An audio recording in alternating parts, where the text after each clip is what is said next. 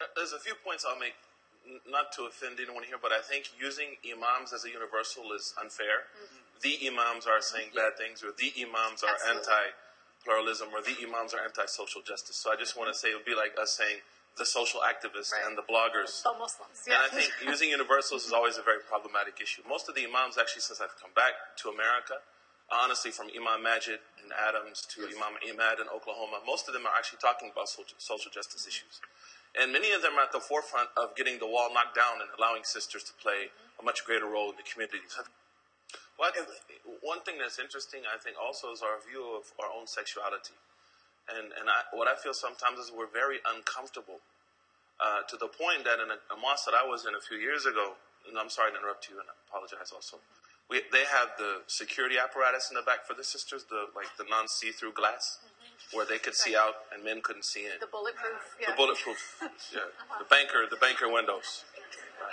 So what happened was they started turning off the lights to pray on that side, and an older woman contacted me and said, "You know, I've been praying for years with lights on, and when they turn off the lights, the kids just, of course, you know, when you turn off the lights, the little kids are going to go crazy."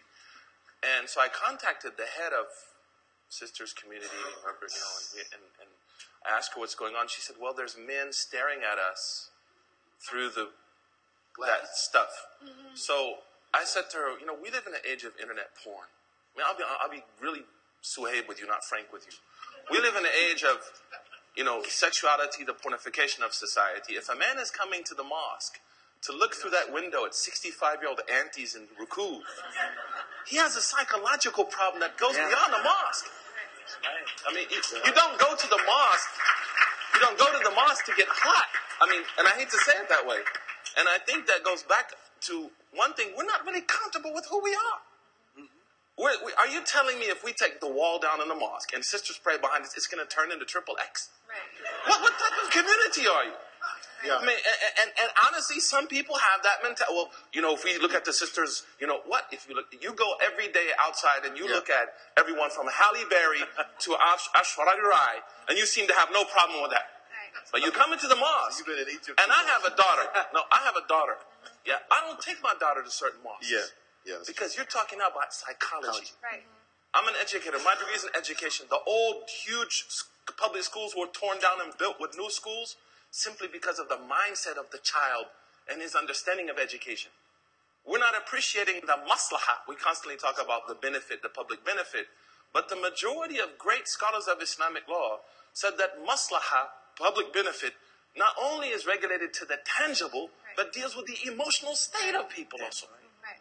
So if we're going to talk about maqasid, objectives of Sharia, maslaha, what benefits our community, we have listen to what she's saying. Women are not living a dignified religious existence in our communities. I want to add. I went to Egypt seven years ago. I went to Azhar um, and converted to Islam in 1992 from the hip hop. My first sheikh was Rakim and Chuck D.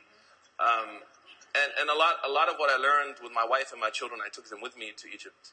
Um, and my wife, really, without her, I wouldn't have been able to do it.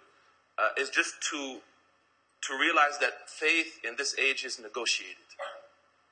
We are no longer in an era where faith can be forced on anyone. Allah says in the Quran, "La forget. so, living in Egypt and being a little older, I went to Egypt in my early 30s. Um, I realized, first of all, the important role that we have as American Muslims because we have the ability to embrace the pluralistic message of the Prophet uh, in a way that's very unique. Because, as you said, you said something very interesting now that at the table you'll find the biryanis and the mashi. But when are we going to find the mashed potatoes, the cornbread, and the fried chicken? Exactly. and, and, and I, I think, and I think that goes back to the earlier point of why the Americans don't know us Don't forget the bean pie, my brother. and the bean pot, and for some of us, a protein shake. Yes, sir. Point being that that when I lived in Egypt, and I, I don't want to make Egyptians mad at me because I know they're a little sensitive. I learned على رأسي يعني على رأسي والله. But I learned what not to do. And, and, and I really realized that for me to be successful in light of Islam, not in light of what people think, I, I have to be ethically committed to being an American Imam. I cannot come back like Mulak ya Maulana, know, speaking like Egyptian dialect. I have to come back with like somebody say ho. You I have to come back with that. But what I did realize is that faith. Did I just do that? faith, faith. So wave your hands. So faith is negotiated. And the job of the mosque, and my, I'm, I'm the youngest person probably here after you, uh, is that we have to facilitate people's ability to negotiate their faith. Mm-hmm. You talk to young Muslims in America, we're doing a camp a month or a few weeks from now here. The number one topic of young professionals who graduate from Berkeley, Stanford, USC is we have doubts about Islam. Mm-hmm. Yeah. Now, we have serious concerns. Women in our community who are taking Prozac because they're looking at a wall their whole life mm-hmm. and they're told that you're part of a community, right? Are we facilitating, facilitating that negotiation? Is it wrong to doubt? You know, the Prophet said, Ibrahim has a greater uh, uh, uh, right on us, and he said, you know, Arini. Show me how you cause life and death. So I think the job of a mosque is to facilitate, number one, a larger definition of what our community is. If you look at the time of the Prophet, the sinner was at his mosque.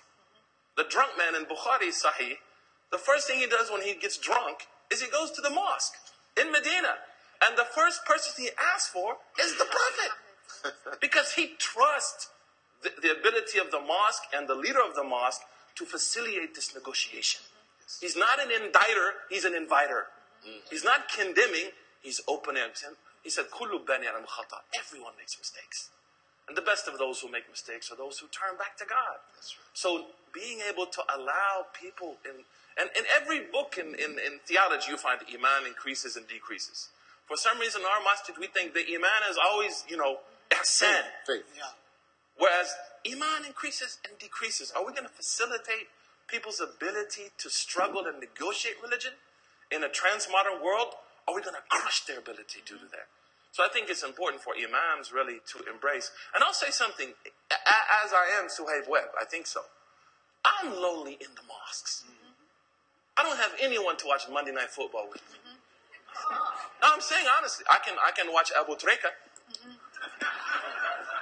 And, and I'm an American convert of 20 years. And I'm running into converts who are not dissatisfied from a point of theology and worship, but they're dissatisfied from a point of community. So hey, let, let me let me chime in. So can I, can I just? So I think it's important to facilitate that negotiation and allow people to grow, make mistakes. Allow your imams to make mistakes. Exactly.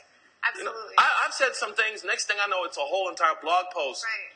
just basically trying to destroy me. Mm-hmm. I'm like, Subhanallah, yani, I'm, I'm not, I'm not al yuha, ilay. I'm a person. Translate. So we need, yeah, revelation is not being given to me. So we have to allow each other room. We're still prepubescent as a community. We're going through growing pains. We can't just be, you know, strict modernists with a bunch of rules and principles and tell people this is how it has to be. It's not going to work.